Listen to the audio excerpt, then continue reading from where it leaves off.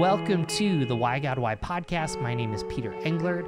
I am here with uh, my remarkable co-host Amanda. Peter, you're always so kind to me. I well, I'm you so know, grateful. You, you got to be kind to your co-host. We Yeah. have we have about 45 minutes together on suffering. So All right, buckle up. could get bad. So we're also here with our excellent uh, producer Dan Austin, and we're so glad to be here. We are here with Will and Bill Kynes. We're asking the question, why do I feel like I have to be happy all the time? They wrote a book on wrestling with Job. We're going to talk a little bit more about that book and what it has to do with suffering. It's a book of the Bible, so we'll get a little bit more background. So. I don't know, Amanda. Any thoughts before we throw it to uh, Bill and Will? I am all ears for this one. All right. Hey, let's go. Hey, so before we get started, why don't you both give us a little bit of an intro? Bill, we'll start with you. Why don't you share a little bit of your story and faith journey? And then, Will, you can just follow up right after him.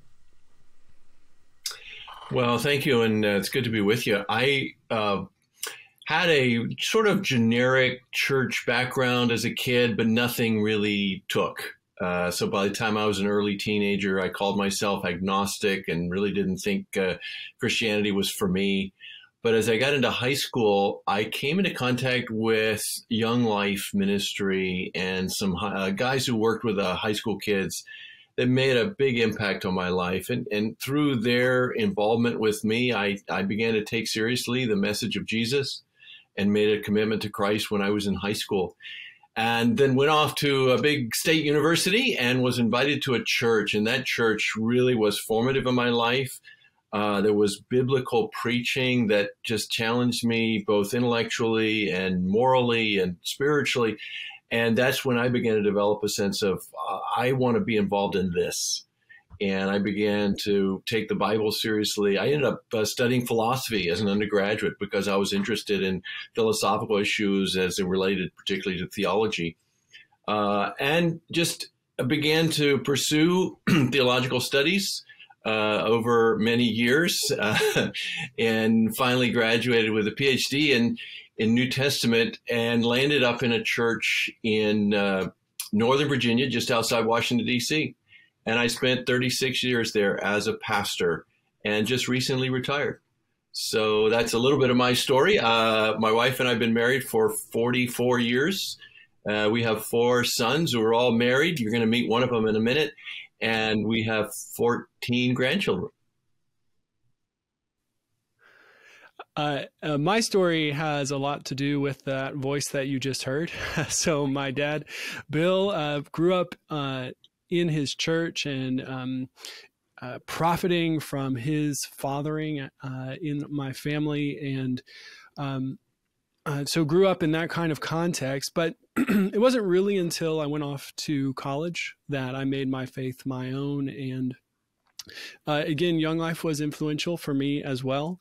Uh, I was a Young Life leader there, and it was through leading Young Life that I felt a call to ministry and then had to determine what that ministry would look like. And over a period of years and several degrees, uh, I see that, you know, doing biblical studies is where uh, I see the Lord has called me to. Uh, and uh, so also did a PhD at Cambridge, though in Old Testament, not in New Testament, uh, like my dad. So you know, I, the the apple doesn't far fall far from the tree. Uh, and um, then uh, after Cambridge, I taught at a school in Spokane, Washington, for six years, uh, called Whitworth University, and came to Samford. Uh, three and a half years ago, uh, where I teach biblical studies both to undergrads and then do some teaching for the seminary here Beeson Divinity School. Wonderful, great. Thank you for sharing your stories. That gives us a little picture into who you both are. Um, how did you decide to write a book on Job? Why Job? What's the heart behind it? Give us all the details. You know, some people with their father, you know, they make a deck or, you know, they go on a trip. You guys write a book on Job, you know. well, um, I think the book developed uh, jointly in, in many ways. Uh, in some respects, it began with Will's PhD studies. He did his PhD on the book of Job. Hmm. And then it developed also through my preaching ministry at the church. I I had been at the church over 30 years, and I had never preached from the book of Job. It was one of the few books of the Bible that I never really preached through.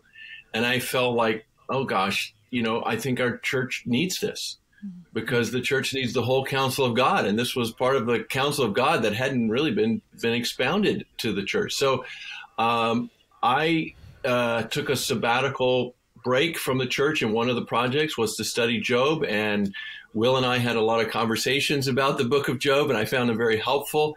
And so I preached a series of uh, 10 sermons on the book of Job, and Will and I were in constant conversation during that period.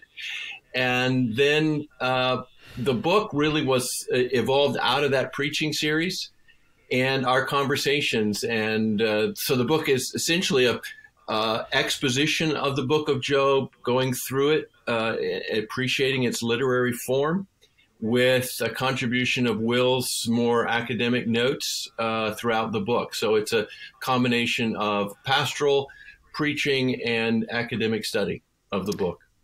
Yeah, it was Well, such that- a delight to have that opportunity to engage with my dad about the book, uh, have those conversations each week as he was planning his sermons. And then after the sermon, you know, I would listen to it and then we would talk about uh, how it went. And so we just felt like, why, why couldn't we share that with the general public? Uh, this kind of engagement between a pastor and a biblical scholar on how we interpret this text uh, and draw on what we can learn from biblical scholarship, but then put it to work in a pastoral context, uh, in the context of the church. So, uh, how did those feedback sessions go? You know, I mean, it, it, well, it was it was a joy because I would ask, "Well, did you did you listen to the sermon?" And then I was like, "How'd I do? How'd I do?" so there was a kind of reversal of roles in the father son relationship. Yeah, but it was a, it was a great delight. It was, and you know that kind of process continued throughout the writing of the book. You know, growing up, I don't think I ever wrote an essay for any school paper. I mean, even my PhD dissertation, I sent to my dad to read and give me feedback on. And you know, he's marked up every essay I've ever read, I've ever, I've ever written with red marks everywhere. But I got the opportunity finally to return the favor and take his You sermons as we reworked it into a book. Uh, and you know, note I don't know, think we need a comma there, or we need to splice these two sentences and these kinds of things. So it, it that has been a really fun process. That's great. I find it very interesting that you look back at your time, Bill, in the church and say, I never preached on Job. Like, I love that. And my question to you would be if you felt it was necessary to go back and write this book, I mean, for multiple reasons, but you're thinking, I needed, my church needs this. Why do they need that? If, if Job wasn't in the Bible, what would we be missing? I think the church needs it because of the reality of suffering in this fallen world. Mm. Mm-hmm. And I, I believe that one of my roles as a pastor was to prepare people to suffer. Hmm. Hmm. And, and because it, it's, it's inevitable. We all suffer, uh, some more spectacularly than others, but we all suffer. And in the end, we all experience the tragedy of death. Uh, and and I think this is a big theme in the Bible, and and Job, perhaps as much as any place in the Bible, wrestles with the reality of pain and suffering in this fallen world. Uh, so I, I felt it was helpful for the congregation to be exposed to the message of this book. You know, Will, let's let's ask that academically and theologically. What's missing if Job's not in the Bible? So Job Job takes an important theme that we do see elsewhere in the Bible. This theme of wrestling with God in the midst of suffering. And it takes it, it turns it up to 11, so to speak, right? Uh, it takes that theme all the way to the extreme. And in lots of ways, Job is an extreme book. Uh, some have described it as a kind of thought experiment in which we get these extreme settings, right? The most righteous man suffers in the most horrible way, right? And then how does he respond? Well, he takes this idea of wrestling with God and he really, really wrestles with God uh, over the course of his um, prayers, his argument with his friends, but it becomes an argument with God as well. And this is what I think Job really offers to us in scripture is because of the way that God responds to Job at the end, we see that God approves of what Job says, right? At the end of the book, Job says, God says to Job's friends, You have not spoken of me rightly as my servant Job has. Uh, and even before God gives that explicit approval, the fact that God responds to Job at the end of the book and speaks to him in the midst of his suffering also is an affirmation that what Job has done in calling God to respond is something that God wanted Job to do. So within the Bible, Job plays this important function of taking these ideas we see elsewhere of, you know, Jacob wrestling with the angel or Abraham um, arguing with God about whether to destroy Sodom and Gomorrah or Moses arguing with God not to destroy the people or the lament psalms that we see where people are bringing their pain to God. Uh, and it gives us a strong affirmation of that as a way to respond to God in the midst of our suffering. That that's super helpful. Let's let's kind of jump here for a second because I, I feel like it's important. Not all, uh, I think probably the majority of our listeners struggle with this question of why would a good God allow suffering? Mm you know, why can't I be happy? Sometimes Christians, that word happy is not, it's kind of a trigger word. Are we supposed to be happy? Are we supposed to be joyful? Mm-hmm. So, what Amanda and I are going to do is we're going to pretend that one of you is Joe Buck and the other one's Troy Aikman. I'll let you pick which one is which. why don't why don't you um, why don't you give us kind of an overview and a play by play of Job, just the story and the structure, and you two kind of go back and forth just to give our listeners and even for those that know the story just kind of maybe a five to seven minute perspective on it so that as we kind of talk about it they kind of know the gist of where you're going with this yeah, so I'll be the play-by-play guy, and uh, Bill can be the color guy, uh, jumping in as he wants. Uh, so the story starts, as I mentioned, with an introduction to Job as this superlatively faithful man. Right? He is righteous in every way, and along with that righteousness comes great blessing. So he has flocks and flocks of um, sheep and cattle, and he has 10 children. So he's the greatest man in the East. But the Satan comes and challenges Job's faith. He says to God um, that Job only worships God because of the stuff that God has given him. But if you were to take away all that, all those blessings that God has given, then Job would curse God to his face. And that becomes what's sometimes called the wager. That's God agrees, okay, fine, Satan, take those things away from Job, um, and you'll see that he'll remain faithful. And so chapters one and two of the book set out that initial setting and then describe how Job loses everything. He loses all of his possessions, he loses all of his children, he eventually loses all of his health.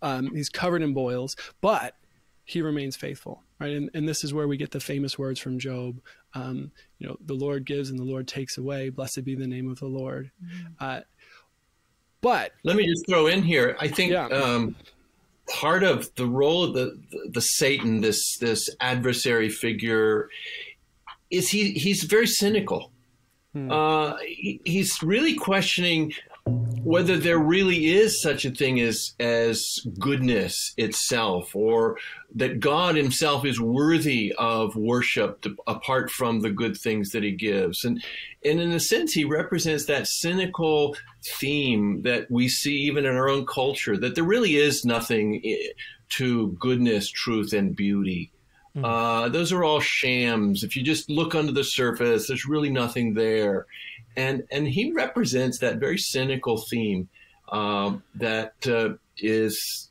I think, very evident in our culture today. Yeah, and his challenge of Job's faith is really a challenge to whether God Himself is worthy of faith.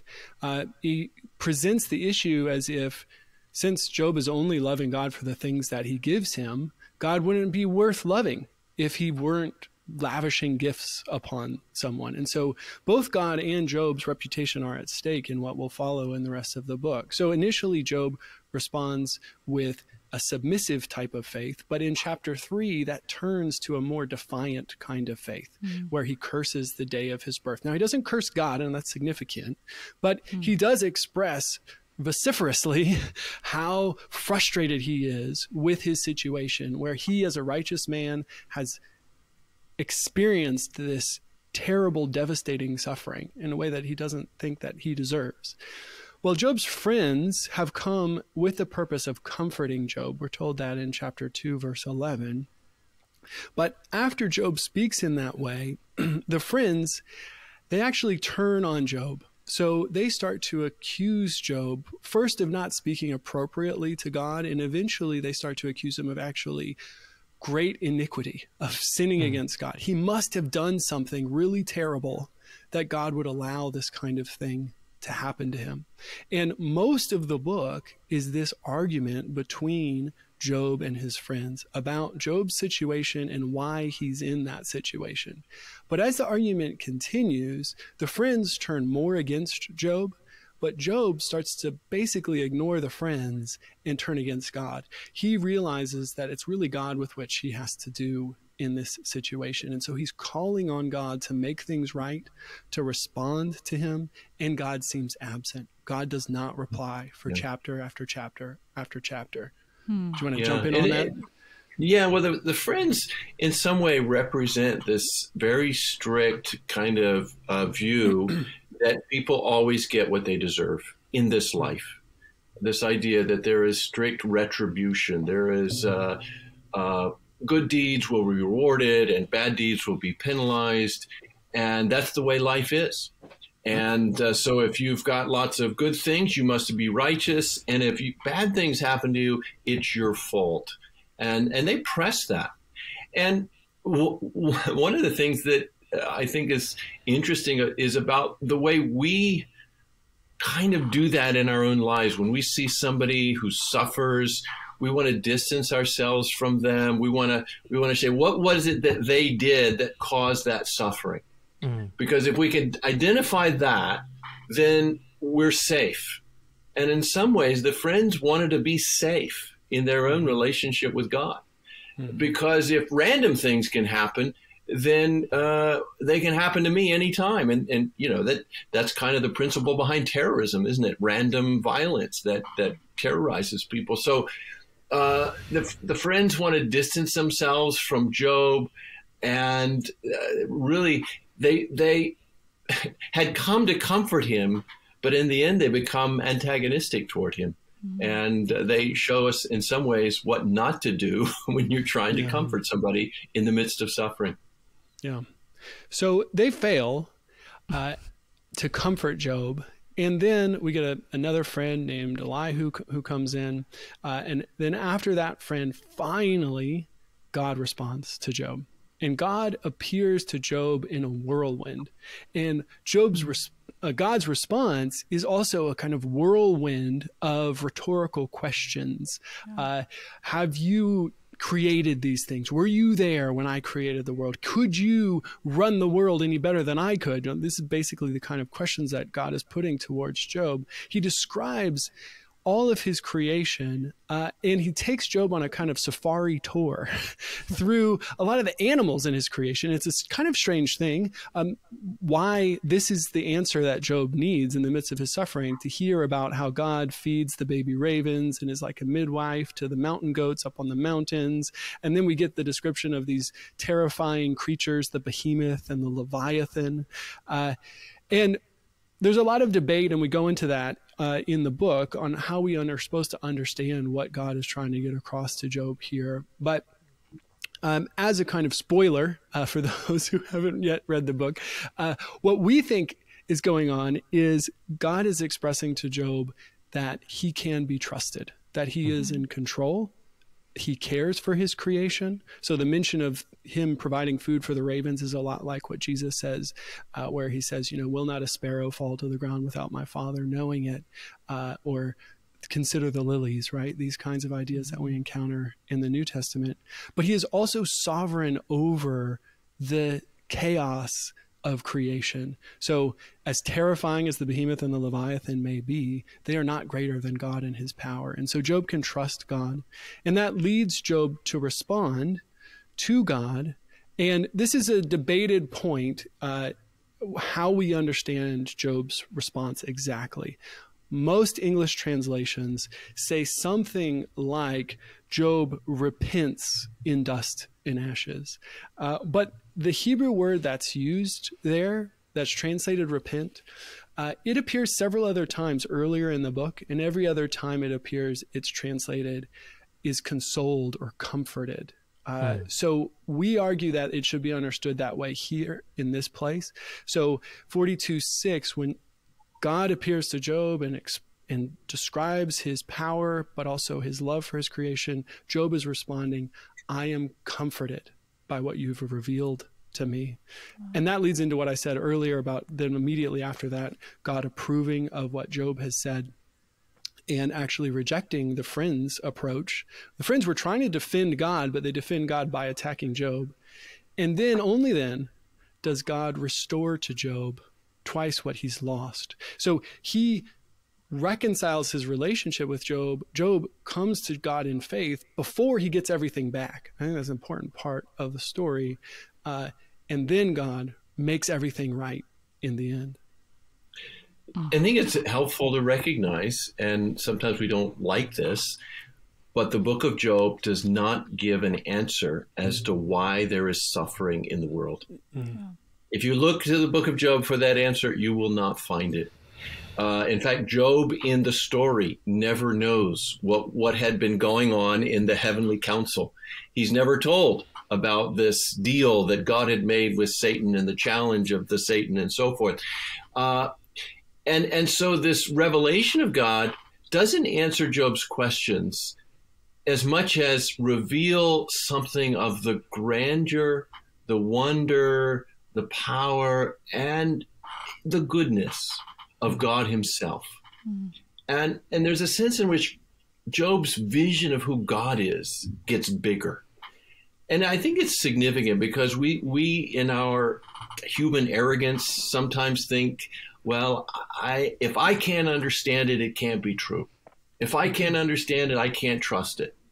Mm-hmm. Uh, that's kind of like a, a child, a four year old, not understanding why a parent gives a command and then then disobeys it, you know. And and and so Job, in some ways, is put in his place, but he responds well to that, and that's that's a good thing. You know, I, I think it's been said that if if your God is small enough to be understood, he's not big enough to be worshipped. Mm-hmm. And I think Job comes to the conclusion that God is big enough to be worshiped. He knows more about his world and the ordering of his world than I do. And I can accept what he gives me, um, trusting that his ways are ultimately good and right. Yeah oh man you make me want to read job all over again. I mean it's just it's, it's, just such a beautiful yet difficult book and i'm all about mm-hmm. application in my life. When i hear a message you know the, the word i'm like okay how do i apply this to my life? So um, you guys touched upon this a little bit but i want you to elaborate more on it. Like what are some assumptions people have about life being hard that the Bible mm-hmm. addresses. You know, what assumptions are right, what are wrong. I mean, and even hit on this day and age, the demographics that are represented. Like, what assumptions do we have? I think one assumption that people have is that uh, life shouldn't be hard. And I think that's right. Uh, life shouldn't be hard. And the Bible affirms it shouldn't be hard. Um, but that doesn't mean that uh, it when we encounter this hardness in our life, that that is the result necessarily of sin, uh, or that if someone's a Christian, they should never encounter hard things, difficult things in life, right? Um, I mean, Jesus says as much, right? In mm-hmm. in this world, you will face trouble, but take heart, I have overcome the world. Uh, so, uh, the Christian faith does not deny the hardness of life. Uh, it says, yes, life is hard because we live in a world that's broken and it's not what it should be. But it also doesn't give in to the hardness of life. Uh, it gives us hope in the midst of that. And the book of Job is amazingly honest, like the rest of scripture, in acknowledging that there are really hard things in this life. And even the most righteous man is not going to escape those hard things. Mm-hmm but it also is hopeful in that there is a God Uh, and this God is greater than those hard things that we face. And this God is trustworthy in the midst of those hard things. But as Bill just said, doesn't mean we're always going to understand why. Job is never told why he suffered in the way that he did. Uh, but it does encourage us not to give up. Uh, and so that's that's what Job is praised for in the New Testament in James 5:11 that he endured. Uh, and that is what the book challenges us to do is to endure as well as we face the hard things in life. Mm. Yeah, and I think it's important that what does the Christian faith offer to sufferers? And I think one of the most important things is that it puts our suffering in a bigger story. Mm-hmm. There's a there's a grand narrative that the, the gospel message gives to us that says, yes, this world can be hard. Yes, this world is broken. Uh, but God is involved. God is active. And, and God is actually has a plan for overcoming the fallenness of this world. And that makes a huge difference as we're thinking about our suffering. Our suffering is not meaningless. It doesn't have, it's not without purpose. Uh, and even Job's suffering has a purpose where he sees God in a new and deeper way as a result of that suffering. Um, and, you know, and again, putting this in the whole of the, the biblical narrative is Jesus overcomes the suffering of this world ultimately through his resurrection and glory. Mm. He overcomes sin and death. He enters into this new realm, and, and, and the promise is that we will one day enter into that realm. Mm-hmm. And the challenge is for us in this age to persevere in faith in the midst of suffering and hold on to the, the promise that God has that one day there will be a world in which there is no pain, there is no grief, there is no suffering. Uh, and that's a challenge. And that's why, you know, when we think of suffering, we often don't just think of it as affliction, but as a trial. You go through trials because suffering tests our faith. Suffering makes us wrestle with the fact is there really a good God out there who is not only good but great, who somehow allows this suffering into my life, but is still good and is still great and has a purpose that one day I can understand, but not now. I won't. Can I trust him? And again, as a Christian, you keep going back to the fact that God has revealed himself as a God who comes near to us in our suffering. Jesus enters into this world. He sees the, the death of his dear friend Lazarus and he weeps. Mm. And yet, he doesn't just sympathize with our suffering, ultimately, he saves us from it uh, through his death and resurrection, overcoming sin, overcoming death, and points us to that glorious new world that is to come. So that's the grand story that the Bible presents to us. And, and, and in that story, our suffering can find some, some meaning, some purpose that's very helpful. So I, want to go a little off script here. Um, and I, I'm actually going to direct questions to both of you. So, you know, as a modern reader, um, this all starts because God gambles. Okay, so God says, God says, "Hey, have you tried my servant Job?" And Bill, what you just said was like super beautiful, but this whole story starts because God's like, "I'm sure Job's going to get through it." So you know, it makes me think of um, the movie Trading Spaces or Trading Places with Eddie Murphy and Dan Aykroyd. Uh, spoiler alert, it's about 40 years old, but like the whole point of the movie is like they bet a dollar, you know, the two bosses bet a dollar that they can train Eddie Murphy to do the job. And at the end, like Eddie Murphy and Dan Aykroyd, like basically take the stock market and bet a dollar that they can make them go bankrupt. Like that's the picture that like I'm getting about this wager. And so where I'd kind of like to go with this is first of all, Will, how would the original readers have read that wager? And then Bill, you know, as a pastoral response, like how would how would you talk to someone that'd be like, okay, you're telling me this all works out for good, but here's a God that's basically like, hey, I'm I'm gonna kind of ruin your life, maybe make it better just to prove Satan wrong. So, Will maybe help us understand what the original readers might have saw, and then Bill, you know, follow up response to that.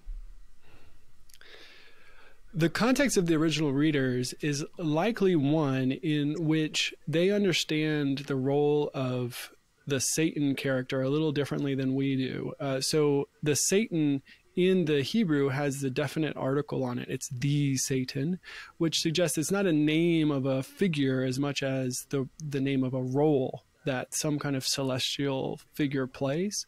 And that the Hebrew word Satan means to accuse. So it's his hmm. job, kind of like a prosecuting attorney, to test the faith of people and see if it's genuine or not.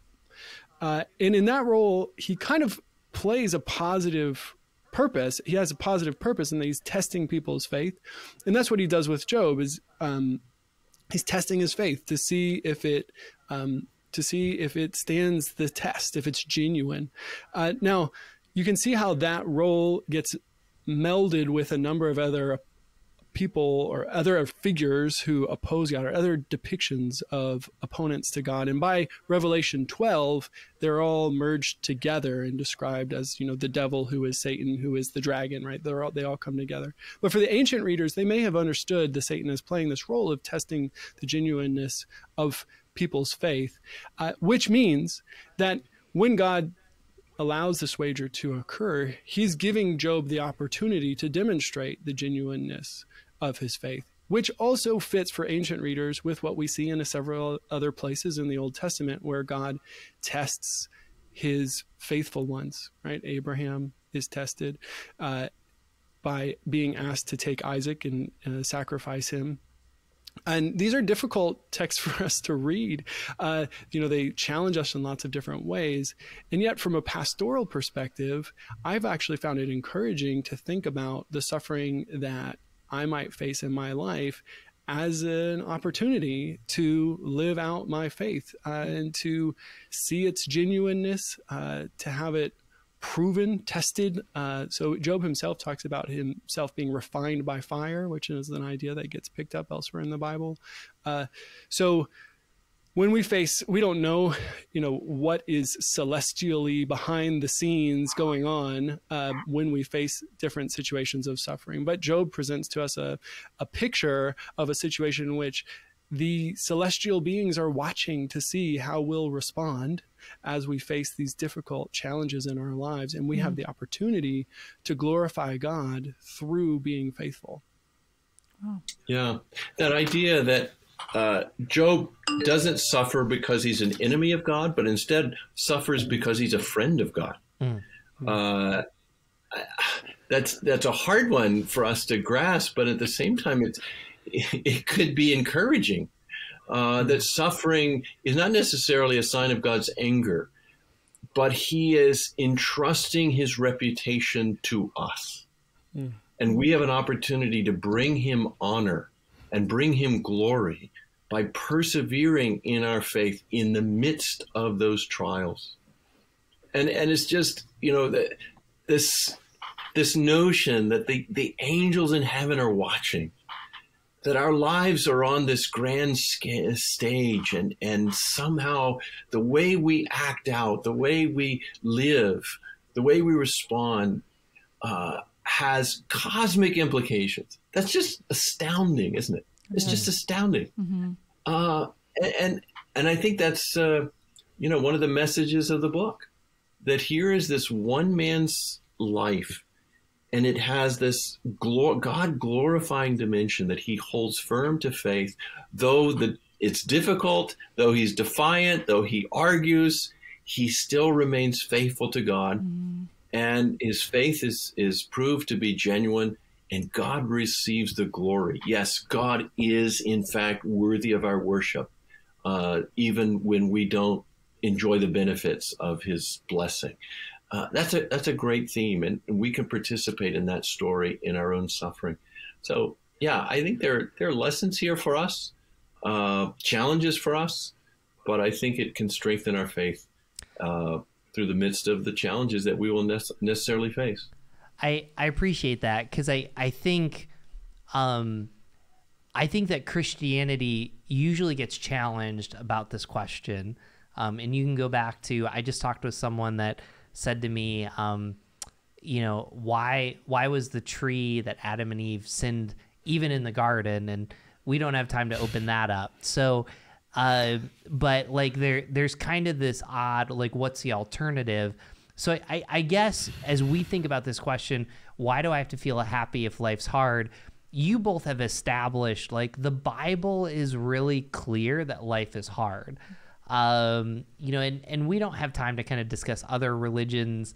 There's different levels of what they deem happiness and things like that. So I, I guess, you know, what, what I'm concerned about is when we talk about suffering, there there's a pastoral practical way of talking about it that like my friend has cancer you know my wife lost a baby i'm still single i haven't gotten married. Mm-hmm. but then there's also this philosophical theological way that we're trying to talk about it. And and believe it or not we do that in culture. So you know how do you both manage that tension? Because this is not just some ancient book. Like this is 2023 when this podcast is going to come out. Um, you know how do you manage that tension as you kind of practically kind of engage it, but also apply it? Let me let me jump in. I uh, I mentioned the friends, Job's friends, and the way they uh, interact with Job, and they. Uh, I like how one commentator puts it. They they assume the role of the uh, armchair scholar debating philosophical theological issues, rather than the seat of the wheelchair sufferer they're too busy rationalizing and don't sympathize. And and I think that's uh, you know as I think of suffering pastorally, the first thing is to to to come alongside, be with, share, and and sympathize, empathize with the person who's going through suffering, which these friends don't appear to do. Uh, so I think uh, just being present, uh, demonstrating your love, because often when people suffer, they feel alone, they feel abandoned, uh, they feel abandoned ultimately by God. Hmm. And so being there, being the, the presence of God, the, the, the, the, evidence of the love of God in people's lives is, I think, the, the first and primary thing that you want to do when you're engaged with people who are suffering. Uh, it's not the time for sermons. It's not the time for philosophical uh, argumentation. It's the time for uh, loving care and, and loving presence. Now, there's a time to talk about, you know, what does this mean? How can I understand this? Uh, but I don't think uh, that's where you begin at all. Mm. I would just add, you know, the question we're thinking about today is why do I feel I have to be happy all the time if life is hard? Uh, and one of the great pastoral gifts that the book of Job gives us, which we've pointed to already, is you don't have to feel happy all the time. uh, Job, is not, Job, is not, happy for most of the book. Uh, and he actually brings that frustration to God. Uh, and we call that in the, our book defiant faith. It's faith, but it has a defiant edge to it because Job defies his situation. He says, is not the way that things are supposed to be. I'm a righteous man, and yet you're allowing me to suffer in that way. Um, and so, here we have a book of the Bible that's encouraging us to be honest with God, authentic with God in the midst of our suffering. Uh, and that is actually a great gift that yeah, scripture yeah. gives us. Mm-hmm. In that, I think the church, you know, implied in your question is that the church gives people the impression that they have to be happy all the time. And I think that's true that that does come across to many people. Uh, there's an article that Carl Trueman wrote um, called what do miserable Christians sing? What do miserable Christians sing? Because all of the songs that we sing at church are all, you know, happy worship songs. And and one of the things I've noticed actually in recent years, and I don't know how much COVID has influenced this, but there is a kind of retrieval of lament uh, in churches. Uh, and churches are starting to recognize that they need to provide resources for mm-hmm. people who don't feel happy when they enter the doors. Uh, and there are incredible resources in Scripture, like Job, like the Lament Psalms, uh, that enable people to bring that suffering to God, to bring that unhappiness to God, and show over and over again that God meets people in that place. Yeah, yeah, yeah. In fact, when I preached uh, this series, that was one of the responses that was uh, most common. People said, Thank you for this because I have felt like Job. I've had these thoughts and I felt like I couldn't express them. I felt like they were wrong mm-hmm. and they felt guilty for it. And I think the book of Job gives you a freedom to be honest with God. Mm. And that's very important because, as it's been said, uh, true prayer is the true me communicating with the true God. Yeah. And I can't be putting on a facade. I can't pretend that I'm happy and joyful when I'm not. Mm. And God can handle it. And that's part of what the message tells us. God can handle it. Be honest with God. Uh, wrestle with God. Don't give up on God. And that's the thing. I mean, uh, you know, this is not uh, this is not wandering from the faith because Job keeps coming back to God, and and that's what I encourage people to do who are struggling. I say keep bringing those struggles to God, mm. and Job. I think is the example that uh, liberates Christians to do that. Mm-hmm. You know, we, we, you know we'll we'll read in Paul where he says, "Rejoice in the Lord always." Again, I say, rejoice. Mm. But you know, Paul is himself talks about being despairing unto death in Second Corinthians chapter one when he faced difficult times. Uh, Job talks about the whole creation groaning, as in childbirth, to the present day. So Paul recognized that life is hard, and uh, but there is a sense in which the reality, the overarching reality of the gospel, gives us a ground for hope and even for joy mm. in the midst of our suffering. Mm. Because God's power to overcome the fallenness and brokenness of the world is greater than the suffering we endure. So there is ultimately a ground for joy and hope, but we still live in a fallen world and makes it hard and, and God doesn't deal with us as we like. Uh, and so there's a sense in which we protest. And Jesus himself gives us warrant for this. He talks about that, that parable of the persevering widow who wrestles with the unjust judge and continues to plead her case until finally, out of desperation, the judge agrees to do it. Uh, uh, Jesus uses that illustration as a as an encouragement to persevering faith in the midst of what appears to be an unjust world. So I kind of want to go off script again because I, I think this is fairly important. Um, so we have listeners that um, might not be Christians. They might be deconstructing, and and I, I guess I'd be curious. And when I say deconstructing, I don't. Um, I have two PhDs here, so I have to make sure I define my terms. Not necessarily like the French deconstructing, but kind of this new modern phenomenon, American deconstructing of faith. And and this issue of happiness, life being hard, and suffering is such a block to following Jesus.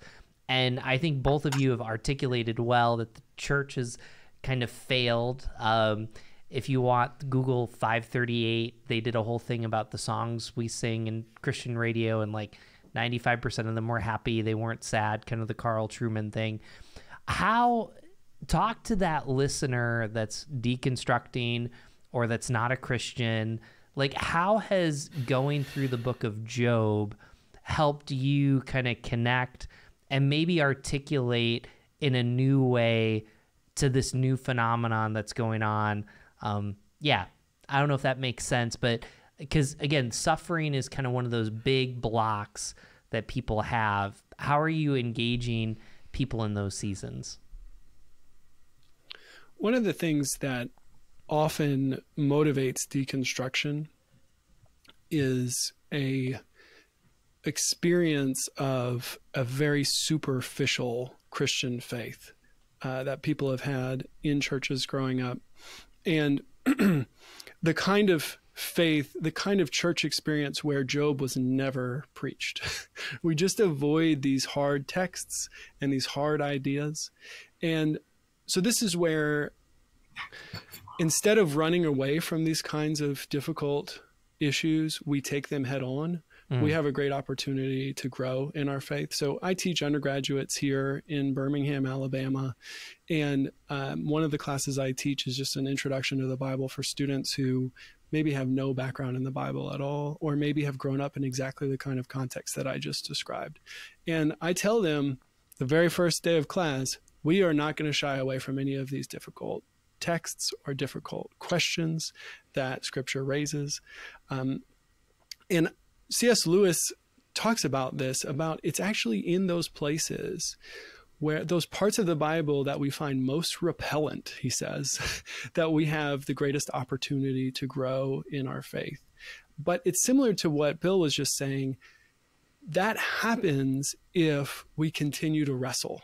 If we continue to wrestle, we don't give up. Uh, that we get the opportunity to grow. But if we have a very anemic faith that's built on that superficial foundation, we face the challenge of a text or a life event and it overwhelms us and we just give up. Uh, and so, texts like this, life experiences, you know, not even to Job's level, but challenges, uh, those have the opportunity to build our faith if we put them in the right context. Uh, and I just had a student in my office right before coming on with you who was struggling with these kinds of questions, who was in that class with me. Uh, and one of the things that I encouraged her to do is is find a church uh, where other people could come alongside her. And I told her, you know, one of the gifts that God gives us is Scripture, and so, you know, we can read the Book of Job. But another gift He gives us is a congregation of people who are all wrestling together. This is where Job's mm-hmm. friends fail him completely. They were supposed to come alongside him and comfort him. Uh, and where the church today is often failing is it's a bunch of individuals who go to a building and sing some songs together uh, instead of a community where we enter into one another's suffering together and support one another. Yeah. Yeah. I, I sometimes feel like some people who are deconstructing are not deconstructing real Christianity, mm. But a very shallow version of it. And, and I think that's sad.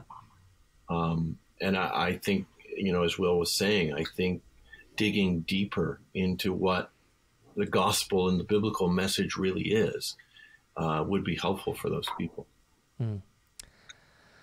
Man, I feel like we went to class, we read the book, you know, we we went to the pub that C.S. Lewis and J.R. Tolkien went. Um, you know, we went really deep, and I, I appreciate uh, both of you. So, what we like to do um, and Amanda and I aren't intimidated at this all. We close every episode with the question, what does Jesus have to say about this topic? So the good news is is usually we have one guest that cleans up the mess that we leave. Now we have two guests. So I'll let you all uh, kind of go there. So um, Amanda, do you want me to go first or would you like to go first? I'll go first. Oh, look at you go. Yeah, yeah. Right. You know, why not? Um, when I saw the question for the podcast, I also just want to give a shout out to anyone who thought of Inside Out like I did, the movie. Oh. That, you know, mm. and you guys touched upon this too. Like, sadness has a place in our faith and it's mm. going to be there. And it actually can bring beauty out of a very difficult thing. So I thought of the verse that's that's Matthew 11, 28. And Jesus said, Come to me, all you who are weary and burdened, and I will give you rest. And I a couple things about that I love is that Jesus saying, "Come to me if you're weary, come to me if you're heavy laden," and in that, I'm sure the sadness and depression and uncertainty, and Jesus says, "I'll give you rest." You know, I will provide something for you, and I know He's speaking truly into who He is, not just, you know, a way out or an answer to, you know, your struggles. Just I will be your rest. I'll be your person. Um, so I just love Jesus' heart in that. Man, I appreciate that a ton. Mm. Um, you know, I'm not necessarily going to go deep into the Bible. I, I, I do want to kind of something that came up as you know what Will and Bill talked about was, you know, I, I don't think we challenge the alternatives to Christianity as much as we should. And I I think what Jesus would say about this is, you know, why do I feel happy if life is hard all the time? Well, you know, I I see things like send good vibes or uh, you know, just we live in this world. Even the world has a hashtag for bless. Um, and I, I don't think that the answers outside of Christianity are actually as helpful as we think they are. Like whether it's having more stuff or hedonism or volunteering more or like the pressure comes back to us. Whereas, you know, I think what Jesus has to say about this topic is like take the pressure off from being happy. And when you embrace that life is hard, life becomes beautiful. Mm-hmm. And it goes back, to, I think both Will and Bill said this about the suffering of the cross leads to the resurrection. Mm-hmm. And there's something so powerful about that. So I think where I'm leaving this conversation is, you know, if you're in a season of doubt, it's, you know, like what Will said, please challenge Christianity and make sure you're challenging it in a deep way, but make sure you're also challenging the other thought systems like the American dream and other things with the same vigor. Because I think what you find is even if you get everything you want, there's actually a suffering in realizing it's not as much as you think it is. Yeah. I, I, appreciate that uh, uh, looking at the alternatives because the alternative, uh, you know, how could a good God allow such suffering? I can't believe in such a God. What's the alternative? You end up like the Satan, cynical, believing there is no such thing as goodness, truth, and beauty. There is no such thing as ultimate injustice because there's no source of justice. We just live and die, and that's the end of it. And I think that's the ultimate alternative to the Christian story. And what does Jesus say to all this? I think the, the passage that Will alluded to earlier Jesus says, In this world, you will have trouble, but take heart. I have overcome the world. Peace I leave with you, he says, not as the world gives. Peace I live with I leave with you. So I think there is a, a place for peace.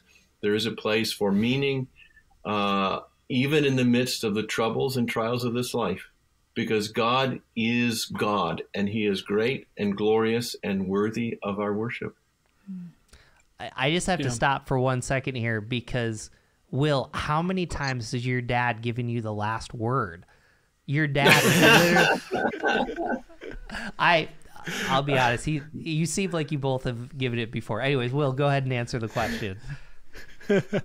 Uh, well, you know, I'll do what I often do, which is say I can't say it much better than he just did, uh, but I'll just add on to it um, that uh, I think this is a good reminder of the way that Job is. It puts Job's suffering, which we see in those middle chapters as he really wrestles with God, in the context of a narrative, and it's a narrative that has a happy ending in which God makes things right in the end. And a lot of readers don't like that. They, they want it to be a true tragedy.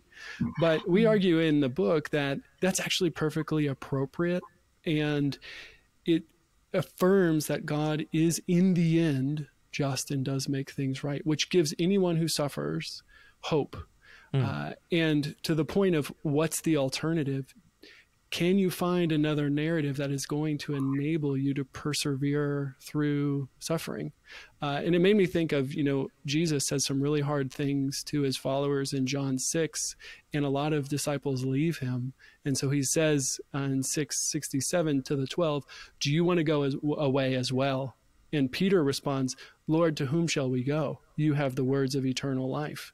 Uh, and I I worry for those who deconstruct and walk away from this narrative. Are they finding something that's going to enable them to respond to the vicissitudes of life when they arise? Uh, and as hard as it may be, um, Jesus offers us the hope that there will be a happy ending, uh, which can be vitally important for people who are suffering to believe that that will be true, so that they won't give up. Well, uh, before we let everyone go, uh, the book uh, uh, "Wrestling with Job" uh, through our great friend Krista Clayton. If you, uh, after this episode airs for two weeks, if you use the code YGod, you can get thirty percent off at ivp.com. We're going to be sharing that, so make sure you buy this book. Will and Bill, where can people find you online? Well, people people who want uh, to hear more about Job, they could go and listen to my podcast called The Two Testaments, which is at thetwotestaments.com or anywhere you listen to podcasts. And we did a season with 10 episodes on the book of Job with leading biblical scholars where we walked through it passage by passage, uh, talking about in much more depth some of these questions about how to interpret it and, and understand it today. So that'd be one place where they could go, or they can find me on Twitter at Will Kynes. And Bill, I don't know what your social media. You're also on Twitter. You have like five followers. uh, you know, if somebody wanted to interact with me, they could email me at billkynes at gmail.com. As simple as that. Old school. Hey, I love it. Hey, hey, you know, that's that's the way we are. Anyways, if you want to get uh if you want to get in touch with us, you go to whygodwhypodcast.com, click the subscribe button. You'll get this episode and many others. Thank you so much for joining us.